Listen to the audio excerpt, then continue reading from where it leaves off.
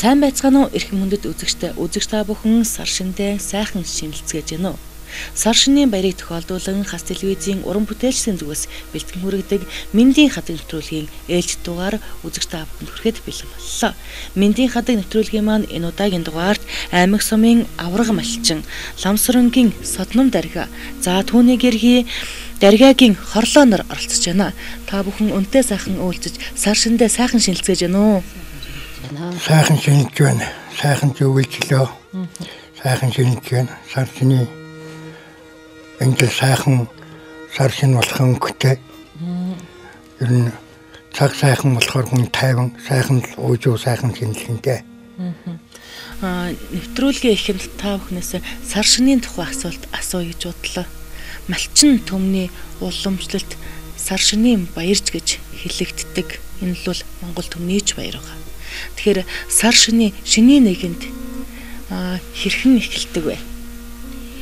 За цагаан сарын өглөө нар бурхандаа сайн сүнийхэн дэжиг өргөөд бурхан дахилтаа мөрөгчөөд тэгээд нар тусах үед хэд өөрийнхөө өр хөвгтийг ачтэнэрээ тэгэн толгодонтоо гөгчөн гэрээ эзэнгийн над сайн сүнийхэн дэжиг ултаар өргөн өргөн барина Тэгээд хүүхдүүдэнд хариул суужаад сарсын дэмэд бол энэ цагийн сайн сайхан бүгдийг ерөн ингэж хэлгэнэлт юм да.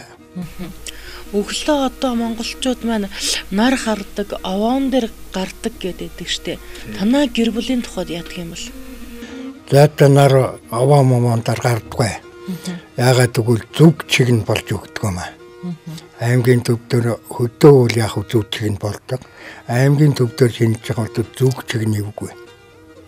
Тэгэхээр аймгийн төвдөр байгаа хүүхдүүдийг бол би судар бурхан одоо судар номоо эрхэн бариад грэм 3 гараа хийгээд нөө зүгээ зүг зүглэх үедээ тэр зүгийн ямар суудал суусан байна тэр ташлагаа хийгээл тэгэл гიშгэн зүгээсээ гэртээ орхон зүг юм а гэж би ойлгодог. А зүгээр хөдөөнийх юм бол яах вэ? Гэрийн хүн юм өргөчөөл тэгэл мороор мордол өөрийн зүрхийг тойрол нар зүв тойрол ирдэл даамших юм аа умшаал. Тэр чин нарнаас арай өмнө шүү дээ. Нар тусч яхад гэртээ орж ирэх гэсэн байх ёстой л да. Битүүний ёс уламжлал гэж байдаг шүү дээ.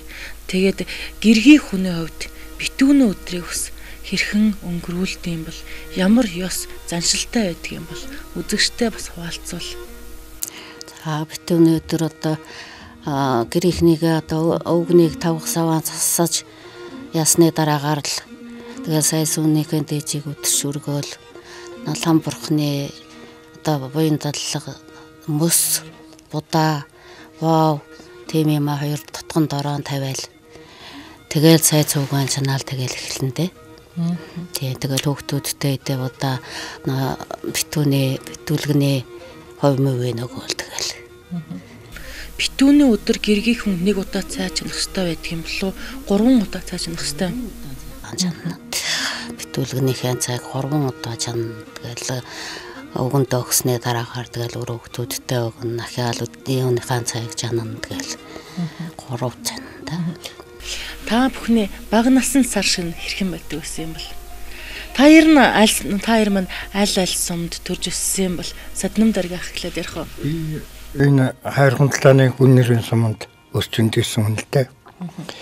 Би ахаар угуулсан яагаад ахаар угуулсан гэхээр миний эцэг хоёр багад өнгөрсөн эцэг ээж дээр өссөн юм би. Настай хүн л дээ тэгэл тэрнийг заавар юу л айлдна тэр дагуул тэр хүн л юу гэж л айлдна тэр айлдураар л өстөндөгөл тэгэл тэр сар хины чинь дээр үе чинь одоо цагаан сар болохоор чинь одоо тайлхан ууц тавьдгүй байлээ шүү дээ.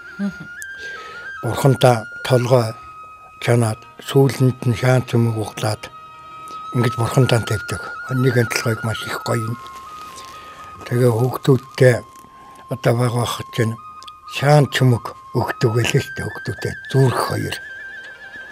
Тэр битүүлэг нийл ёс юм л да. Тэгээ айлуудтай багаар чинь шин бууд өрөөд гүөх их сайхан байлаа шүү дээ. Битүүлэгний бууд тараадаг. Тэр их сайхан байсан. Битүүлэгэнд яагаад тараах гээд гүйдэн гэхдээ тэрсэл юу л та. Өнөө битүүлэг бариад орсон хүүхдэд заавал хойв өгнө. Тэр хойвыг авахгүй чинь гүйдэг. Тэр Тэр үед чинь ер нь өвлжөөнд хідэн гэр байдаг бай. Танаас юм. Гурван гэрч байна. Малыгын байдлаар л болдог ба. Гурван гэр, хоёр гэр, зарим жил бол 3 4 ч гэр байна л да. Тэр гэрийг чинь яхав тойрол гүй штэ. Тэгэл битүүлэн чинь тэгээд уучаал зүрх юу гэх тэр одоо нэг адилхан нэг жихэр жимсний хувь нэг тааргүй шүү дээ тэр үед чинь. Яатан байдаг юм. Яатан ч юу н хавардаа. Арай цай дөм хөгтөнд үхэр яатан гэд нэрлдэг байж нэг яатог нэг гатуу мундаг идэлтэй дээр. Тэгэл ер нь дандаа цагаа идэлтэй.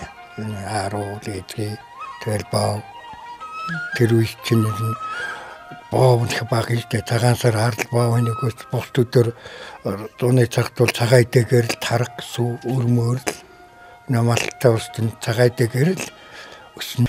Хорлогч минь хувьд аль суманд төрж өсөв таны багад сар шин ямар вэ?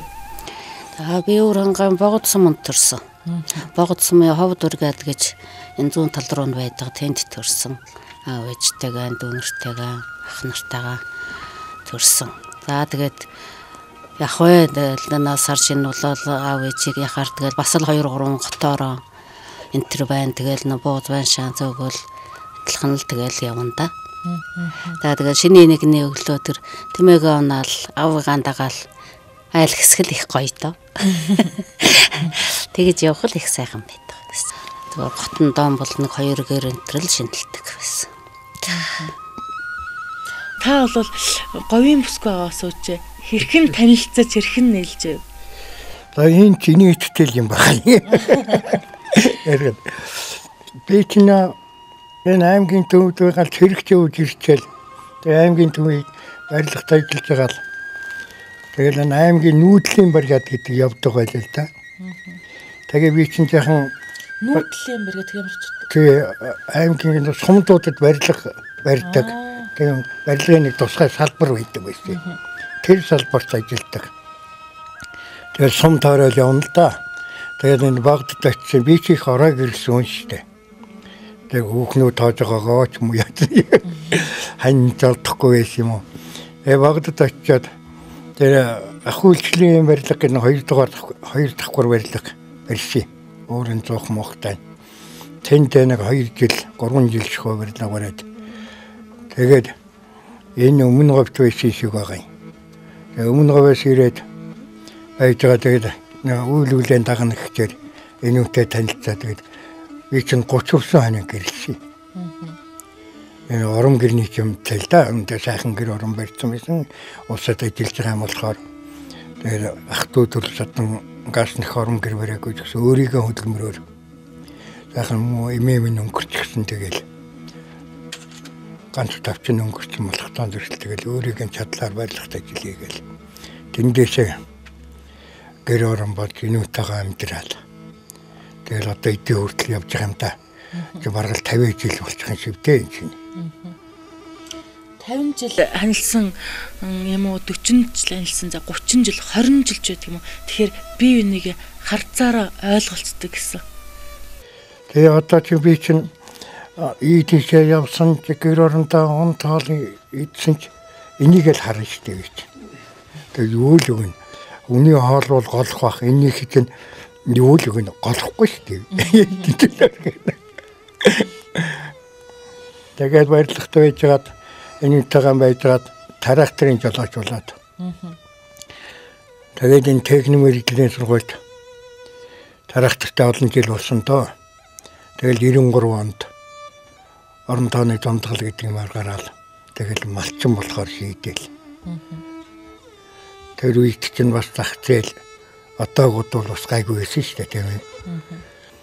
Би нэг ан хийхчээр болоод энэ нэг тамгар цагаан гэдэг цагаан гутал хийгээл. Тэгэл хоёулаа нэг цөөхөн малтай болсон. 18 онд аймгийн сайн болсон байсан. 1400 мал үрсэн байсан. Тэгэхээр та техник мэрэгжлийн сургуульд хэдэн жил ажиллаад дараад нь та хоёр манд хэдэн жил малчин хийв? 93 оноос хойш л техник мэрэгжлийн сургууль батлан хамгаалах хоёртой 20 гаруй жил ажилласан. Аа барилга барилгатайгаа 20 гаруй жил ажилласан байж байгаа. Тэгээд нас яхан болох ч сүүлд нь тэтгэврт гарсан. Тэгээ одоо 93 оноос ч хойш гарахад 20 гаруй жил мал малдсан байгаа малчин хүмүүсийг харахад ерөөсөө маш хөдөлмөрлөлт юм байна. За өвөлдөө цагийн хатуутай авчрал маш их зүуддэг юм байна. Зундаа бас гайгүй сайхан газар нөгөөгөр бол гайгүй байдаг юм болов. Тий цагийн хатуу хавар хоёрт ер нь хүн малаас хөндлөж болдгоо. Өөхөрч болдгоо. Хаврын малыг бол бүр их мундаг дагах хэрэгтэй байдаг. Яагаад гэвэл муудсан мал нь мэддэхгүй олон малд мэддэхгүй байжгаад жалга судаад ойжих тастай зөвхөнд ойжих тамирдах гэл бүхэл юмыг л одоо нөх хүүхдээ яаж хүмүүжүүлдэггүй тэрүүсэл байж тээ. Одоо жоонос тэгэл өргөн тижэл тижээгдэх нү гадуур аваад тамиртай байх нү аль нь турж байна турсны гадуур тусгаарлаж явах уу гэл ер нь нарийн ажиллагаа ихтэй л дээ. Тэгээ насан дөр болчоор бас олон мод яхан тамирдд юм л да. Тэгээ би чинь хоёр хүү нэг ачиг нэг баг ондыг нэг охиныг ингээд малдаар гаргаж чадах юм. Уул уурхай гэсээс гадна газар хөндийлж ухчаад нэг жаахан шороотой үлддэг юм да. Мал бол өгсөн ч барагдсан ч эргээ төллөөд эргээд өсдөг, боождог. Ганцхан хүний ажиллагаал мэддэг. Тэгээ мал өсчгөр олон түмэндээ бас үртэлтэй шүү дээ. Цай сүнийдээ мах сүгээл үртэл сайтай байхын тэрийг хараад идэх юм би. Ეს аймгийн төвдөр нэг тэтгэвэр хэдэн төгрөг авчаалны хашааны буудланд гэвтээд байх боломж бол бий л тийм биднэрт. Тэгээ төг Тэгээ одоо 2 3 хүүхэд өдөөдөө гаргасан тэдний дэргэд байнгын байг юмэр баг. Бас. Тэ тижэмээр өөдөн татмаар борлуулах ямар нь борлуулахыг намар болохдоо зөвхөн би чинь хүүхдүүд зарим тунтуудын шүүдамын үзэл онд орохорохгүй тарах хүчийн үзэл ингээл тэднэртэй нарийн дараа юм зааж өгöd байгаа юм шиг Орлогч маань хэдэн хүүхэд төрүүлж өсгөв өөр хүүхдүүдийн талаар яриач. За би дөрвөн хүүхэд өсгсөн. Дөрвөн хүүхэд нэг охинтой, гурван хүүтэй. Я том хүү Улаанбаатар хотод байдаг. Хуваараа ажил хийгээл. Тэгээ гурван нь чи одоо энэ өгний өдөртлөгаар гуруулаа малчаа. Тэгээ тэдний чинь өрөөхтүүд нь одоо нэг 20 гарчаал явж байна да. Ачцээ гээл нэг 20. Хэдүүл болж байна одоо. Одоо ачцээ нээсэн 22 хүүхэд байна. Тэгээд байрыг бол бас өргөн том өргөө хийн. Тэгээд өөрөө дөрвөн хүүхэд тэгэл нэг 30-аадлхан болтын да. Залгалтын дараа бол тэгэл дэмэд улс ирцгаад тэгээд дөрвөн хүүхэд маань гурван хүү маань хоёр нь айл гэр болцсон нэг нь нэг нь алдсан юм да. Тэгээд охин маань байгаа тэгэл. Байж энэ та.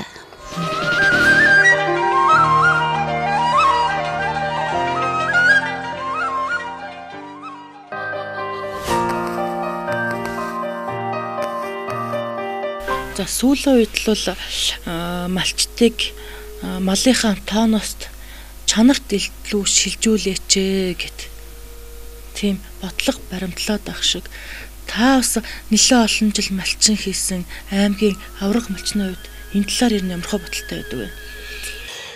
Малыг сайжруул болно л да. Ер нь би малаа сайжруулсан гэж ойлгодог. Эхлээд энэ Сүхбаатар дорнотын ухан тавь гэж байсан юм.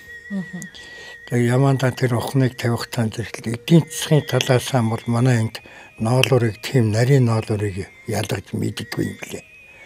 Тэгвэл тэрхтэл тэр Сүхбаатар хинти ухын яадан гэхээр хялгас ихтэй нарийн ноолортой.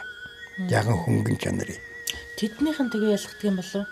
Тэднийхний ноолоор эрт самчдаг нарийн үнэтэй ноолоор байт юм шиг байна. Юм хийхэд.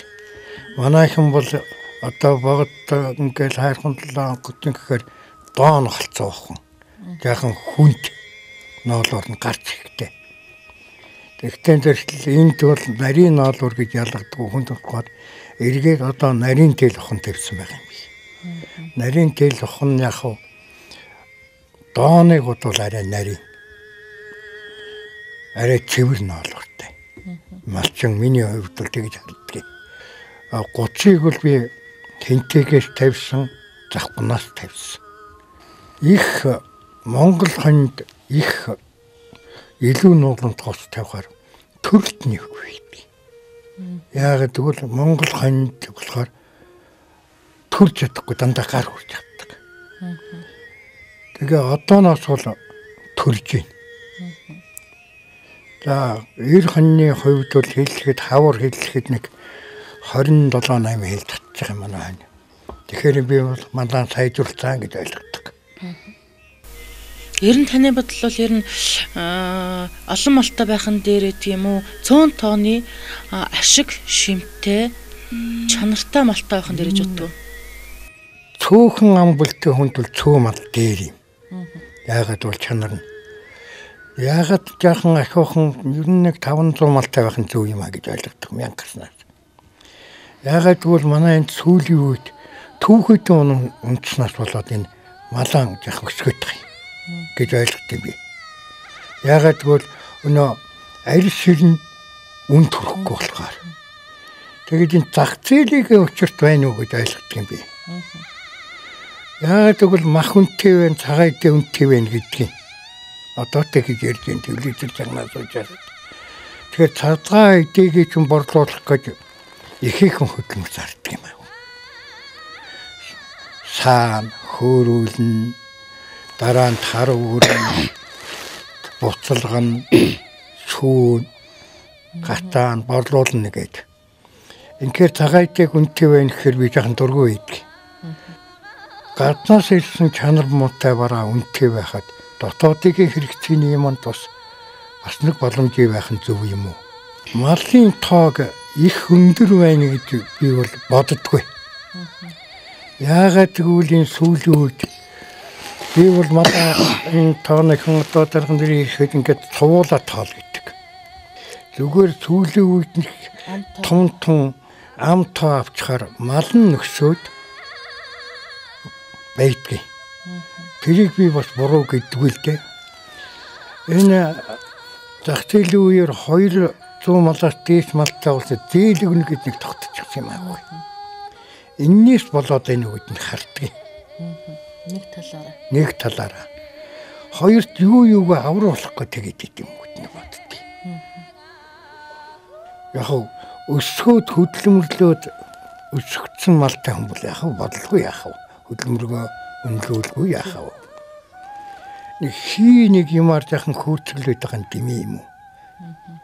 Бас шудраг байх нь засаг дааж өөртөө хэрэгтэй юм бат.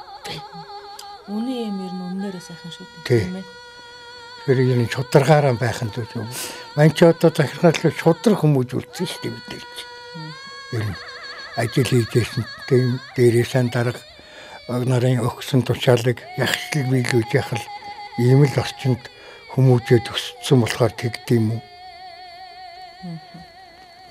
Нэг малчинд нэг зовлон байдаг. Энэ би бол ингэж ойлгодог малын өмч байр бол тэр хүний өмч. Бэлчээрийг эзэмших хэрэгтэй юм бол өмчлсөн хүн биш юм аа. Бурууч ойлгож магадгүй л дээ би. Тэгэхээр бэлчээр улаацалтаад байдаг даруй ингэж ийм юм ойлгоод идэх. Өнөө хаяа багтвал буудаг хамар багтвал иддэг гэд урдын нэг үг. Бинийг хөө туужааг үгүй шүү одоо тэгээд энэ зах зээлийн үед зөвлөлийн үеийн залууч бол хүний үг сонсгоо байт юм да. Малдаар байгаа гэдэг тэгээд яавар голцоо хариулчих юм. Манайхт яавар явна.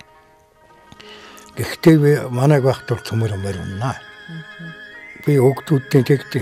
Эр хүн эр морь хоёрт биш. Тэгэхээр идэл жил байх нь зөв шүү. Гүдээ морчин унд идэлжсэн морчин бяцархан дээр.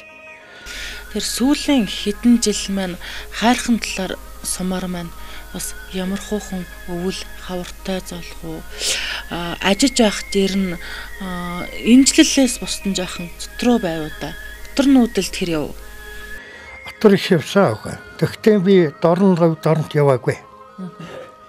Яагаад гэвэл би ч одоо санаамаа тайм уу гिचээс юм уу ойр ойрхон амтны нүүдсэн буусан тэгэл энэ төгрөг зүүн баялаа тэгэл энэ хайрханлааны нутаг аль аль нэг хоног өнгөрөх гэдэг удаарл явлаа. Дорн авируу та яагаад яваагүй юм аа гэхдээ энэ ихтэл одооны улсын хэлдгээр үл яхан эмзэг гэдэг юм. Хэдэн малдаа өвч аваад ирвэл тэрнийсээ дор болох юм уу? Ингэж бодсон юм аа. Тэрнээс явбал адилхан явчихна л да. Гаргаж төр захиргаанаас гаргаж байгаа бодлого шийдвэрийг сонсооч суухна. Ер нь болж өгвөл нутагтаа байцгааж агаад өөрөөсөө бас нэг бэлчээрээ нэг их тахалчгүйхэн шиг Тэгээ байгаад байвал яасан юм бэ гэсэн юмыг ажижаа байх юм. Таны хувьд ер нь отор нуудлыг хэрхэн боддгоо? Отор нуудлыг нь зөв юм уу? Буруу юм уу? Отор хийх нь зөв. Зөвдөө ингэт юм аавгүй. Нэг нэгэн отор явцсан замаар хойноос нь юм. Энэ тэгээ тэр гадрыг татгалждаг. Бага үлдсэн улстай хор нөлөөлөлтэй уг нь тарж оторлуул цөөхөн цөөхөн хоногоор цаад малтай устдаа нэг дарамт болмооргүй. Явах нь зөв юм уу? Тэгвэл одоо байрын суурин нүүх суух дурггүй болцсон юм л да. Би нэг хөө дуудаг болохдоо хүнийг отор ирсэн хүнийг хөөцсөн хүн чинь хойноос нь отор хийгээд өөртөө дарамт үзүүлж байдаг. Хүрээд ирсэн хүнийг боломжийн нэг цөөхөн хоногоор байлгачаад явуулвал дараа нь өөрөө очиход нүүр батар юм уу?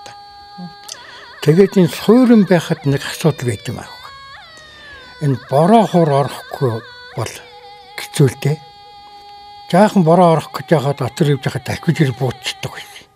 Юм ашигтай асуудал. Энэ жил буутсангүй. Манай нэг тэр хавийг гэл буутчаад идэг байсан. Энэ жил буудаагүй бороо их хорлоо. Сайхан зам боллоо. Намарт сайхан одоо ч өвс сайтай. Хоёрт цөөхөн малтай ус отор явах нь гинэ юм уу гэж боддог. Тэгэхээр төр засхаас юм уу өөрснийхээ чадал болцоогоор юм уу гүний хутгатай байх нь зөв юм аа. Цөөхөн малтай усууд гүний хутгаас ус татаад бороожуулах тавих нь зүйтэй юм. Бороожуулах тавьчихсан зөвхөн гүдээ оторч явж чадахгүй малыг ачаад готчихдээ. Бэлчээртэй очихгоор. Тэгэхээр бороожуулах тавьсан гадар цөөхөн малтай хүн мал нь ногоон цадж мал нь уйлж тойвор даах болно. Ачсан үл их гэж үстэй. Очоод очоод зэгтгүү байхгүй юу. Ари эгээс нь муу нөхөд. Танах бог могл болцоо юу? Бог гоцоо.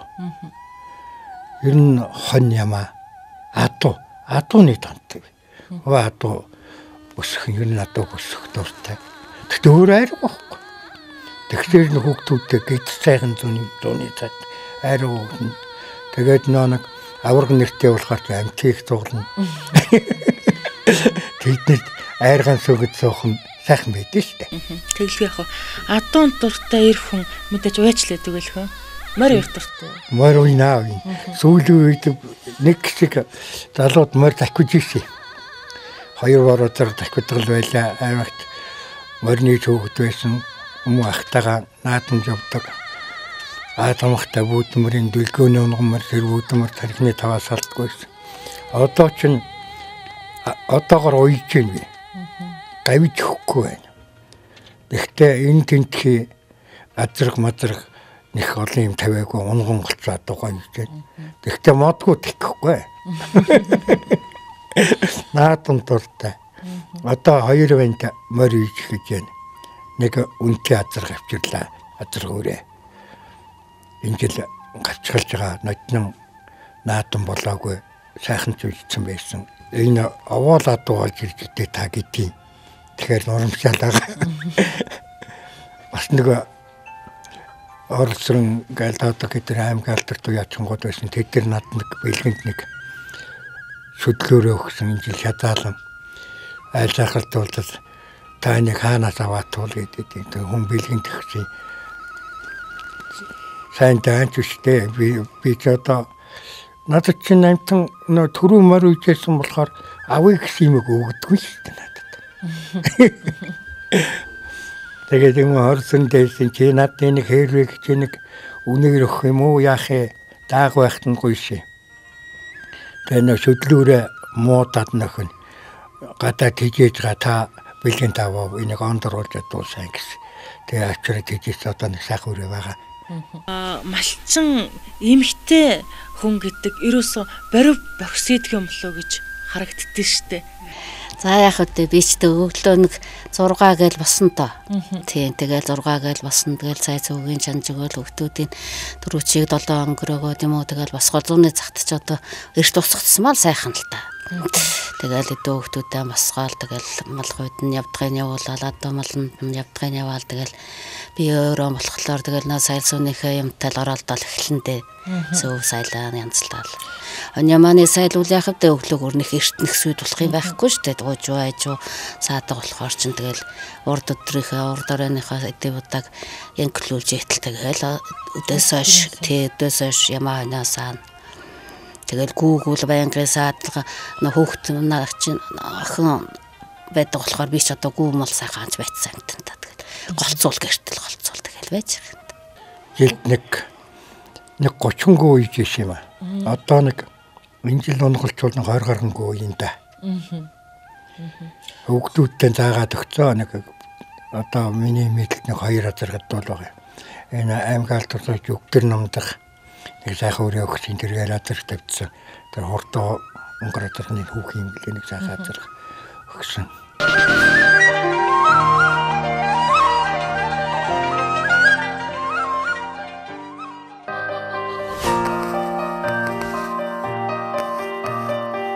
Зан саатай айлд хүн цугулдаг шүү дээ. Тэднийг шиг л танах чинь айргаас өгнөөл хүмүүс ирсэн бужигнсан айл байдгийм болов гэж миний хувьд бас нүдэнд харагдчих юм. Аа бужигнсан. Цонч өстой нэг алиа мэдхгүй л илүү гэрмэр байна шүү дээ. Илүү гэр байна. Майхан гатхан. Өөр юм болдгий. Яахан хөөрхт муу санж ирээгүй шүү дээ тэр амт. Та нэг үгэнтэй нэг тав үгнэслээ гэдэг. Гэл одоо энэ хорсрын дарагч хүрээл очин аймгийн дарагч очин хөрөвдөр дарагч очтыг авгаа хөгтөгийн төмөрөө л очиж штэ. Энэ тэнтэй гоцоос улс ихэрнэ. Өөр хоёр жилүүлээ нэг айхтар өвчнгөө чинь хүн амтуул зулахгүй бас жаахан тиймэрхүүл байна л. Тэгээд нөө амтан цуглаад сурцсан болохоор хүн ирэхгүй байх ч муухай юм. Өгөөлээд байх юм шиг. Тэгээ штэ. Айраг хүртэл дундахгүй байна. Тий, айраг чинь дундахгүй тэгэл эсэл. Ой тэдний чинь би чинь хүн ирэхээр залуу савтай юу саунд чинь юм игээд үгээд сууж идэв байсан чинь тэгээ тийм байхгүй болохоор ч муухай юм аа бас. Халаа авах залуу малчд алгаа гэд яриад байдаг шүү дээ. Ер нь хөдөөдөө эргэтэй голцоо За тэгээд хөгшин настай хүмүүс мал маллаад байна шүү. Чтийн халаа хэрхэн бэлдэх вэ гэд нэг томоохон асуудал байдаг юм болов өмчтийн дунд. Дандаа байна. Тэгээд нэг өдөөний одоо ертөнцийн юм юм та нэг авгаа авд юм л та. Авгаа аваад авсан өнөөх нь одоо оюутан ч юм уу сургууль соёл төгссөн. Ингээд одоо ингээд сургууль соёл байх тань зэрэгтэл тэр сурлаг сайтайж байсан, сурлаг муутайж байсан. Одоо сурлаг суутай сурлаг байл байх бүсгүй юм гээд баахан төлбөр төлөөд нэг сургууль оруулчих юм аа. Тэр нь мэдлэгч байхгүй баахан мөнгө үрчээд ирээд нэг хүнтэй суучаад их сургууль төгссөн гэдэг нэрийдлээр нэг хүүхэд гарчаараа төв хатаж явж. Тэгээд ирээд гэртээ хөдөө ирээд юу яаж яах ирвэл нэг зүүнний сүхт үзэхгүй ирэх юм аа. Би ч одоо аваа хийж байлаа. Тийм тэр. танай банд нүүдгүй авгаа авцангүй нүүдтэй нүүдтэй гэдэг. Тэр эмэгтэй хүн одоо нөхөр нь одоо ургадах, цоорох гоц байдаг тэрийг заавал шин юм аваад шиндэл өмсөхөөс олдаар тэрийг нөхөөд өгчдөг. Хан цусыг оёод өгчдөг. Баймаар байх юм л да. Муу хэлж байгаа юм биш л дээ. Ганц манайд оногдсон биш ер нь энэ бол нийгэмд яраа л байгаа юм. Орлоо ихчээ маань хувьд түрүүн саднам даргүй ах дордохтаа нэг эсгээ гутал хийжээсэн гэд нэг өхний завсар сонсогдож байсан. Тэгээд та яаж эсгээ гутал хийжээсэн? Тэгээд ер нь үүлэнд уран бах гэж харж байна л да таныг. За яг вэ нэг амьтайгаан л үети нэг даваад явах юм байхгүй зүгээр энэ хэдийг нэг гуцалчнаа нэг дэлгүүр гэршөөний нэг бэлэн гутас мутас бол нэг нэг аваад байдгүй тэгэл өөрөө л амьтаан л игээл явчихдээ. Эсгийн ухтлыг бол манайх энэ Баянгол бас нэг 2 3 жил болсон юм аа. Тэгэхэд тэр энэ Төв аймгийн эсгийн ухтлын юунд үйлдвэр байдаг тент очиж курс нэг 14 хоног илүүдээ тэгэж явж ирчээл тэгэл хийсэн. Тэгэл эсгээгээр тийм. Яаж хийдэ? Бамбар цагаан гутал хийдэг. Эсгийн нэг доос янз янзаар нь ингэж өрж тавьчаал өсгөө үлмээ төрөөгөр нүр тавиал тэгэл модон хэвтэй. Тэгэл тэрнийг гатууруулаад тэгэл угаагаал тэгэл хийнтэй.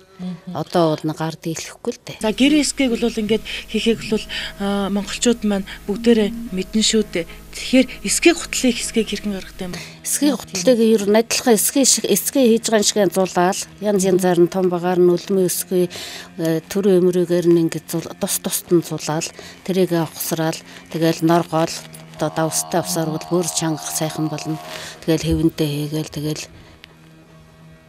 юу ягаал өнгөрүүлээл нүдэд зодоол тал талаас нь тэгэл ахаарч өөрөө гатуурчдیں۔ та тэгэл тэгэл хэвлэгтэл гараад ирнэ. Хэвэндээ л хамгийн гол нь хэвэндээ баригдал тэгэл чанга гатуу давстай ус юм уу эсвэл тийм алуу усаар нүтгэхэр тэгэл өөрөө чангарчдаг байхгүй.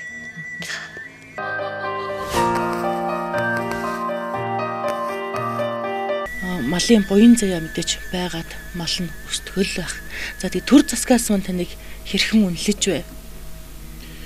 Эвлөөхөө нэг хадлангийн авраг гал нэг залуучуудын авраг гал тарахдагтай хадланг явахад тэгжил байсан.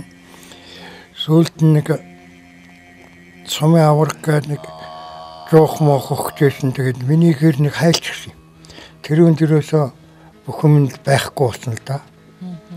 Тэгээд сүүлийн үед яг хөдөө гарснаас хойш бол энэ төрцөг үнэлэл одоо аймгийн авраг авраг тэгэл би жолооч усаар энэ 10 төгрөгөөр торгуулж үзээгүй гэж байна. Тэгээд жолооч нэг үгүй хүсийн аргагүй манлай гэж. Ер нь одоогоороо ч гэсэн нэг дөрөмжчүүд одоогоороо машинтай явдгийг. Би чи нийт одоо 40 гаруй 50 жил жолоонаар сууж юм да. Мөр сайхан уургалд байлаа. Аймгийн нэгдүгээр нэрийн бичгийн дарга дэггүй гэж үлээ та 30-гийн сүлдээ нэгдлийн дарга байж аваад гэсэн. Дэггүй дарга манайгийн тархтын бям гэж хүүдүүдийн бям гэдэг хүн бичрийг авч өгч өмнө говь 5 аймгийн бүсийн адуучдын тэмцээн болсон. Тэрүүнд би морь уургалж морьтой явган хоёр уургалж нэгдүгээр байраа жилж. Бям хангалдаар тогтож нэгдүгээр байр ижил өвөр хангаагаас би тэгж ирж Тэрийг одоо ярихаар мэддэг хүн байхгүй болчихсон байж тээ. Муу бям минь байсан өнгөрчлөө одоо хүүдүүдийн бям гэл одоо энэ тарахтад олон жил одоо хариулсан. Тэм жижигхэн богдоос юм. Тэр бямбыг тав аймгийнхэн бүр хангалтаар тогтохын гайхаж Нэг том цагаан азарган дээр мурдсан санаанаас гардгүй. Азарган ерөөсөө хөлн газар хурж байгаа мөг гэж болчиход дээр нь зайдаг шүү дээ. Буруу хард муута, зөв хард муута гэж. Тэр нь бүжгэж байгаа юм байсан. Тэр ерөөсөө санаанаас гардгүй. Тэгэл дэвгэтэр морьтой ургалч ялдаа тааруухан ургаллал гэжээс үндэ нэ морьгүй очсон 69-тэй тэр үчин 69-ээр л явж байлаа шүү дээ. Аа 69 гэдэг юм курсын зөвмөрийн одоо 469 гэдэг ч одоо 68 7 он тэмдэг. Өөр өмнө үеийн 5 аймгийн тэнцээ болт. Тэгэл нэг 3 алдгарантай 4 алж хуурахтай хоёулаа тийм уурахт болсон. Тэгээ морьтой өвтө морь болдог юм тааруу хуургалсан. Тэгээ явгуу уургалсан. Тэгэл 3 цагаан дуу нэг наадалт нэг одоо цаатлын адууны толгой нийлүүгээр олоороод ирлээ. Цаатлын адууг нь ургалал татчихсан. Тэр сайн татснаад мэдгүй. Тэгсэн чинь гурван адуу гурвуулан дээш хараад очсон. Тэр цаанаас нь заяад үтсэн баг. Цаатлын толгой нийлүү ухсны ургалал татсан юм байна. Тэр нүдэн шим үү ясна мэддэггүй юм бэ. Тэгэл Зүүн цөөгн тавиалхнаа харсан чи гурван тун тийш хараад очсон байсан. Тэгээд мөн зэгвэ тархны жаахан хүн байлаа. Тэгээд нөө банкатан катлуулж исэн телевизэн банкатан гол на дарга на цуглал ингээл аймгийн дарга марагт билэг өгөл нэг зэгвэ даргыг ингэж ирсэн гэж. Гэхдээ жаахан том хүн үлдээ байхгүй юу? Хоёр орны муу жаахан жаахан муу гоё шиг юм а ялээ цух ингэж. Тоглоом хийжсэн тал мундаг дараа байлаа.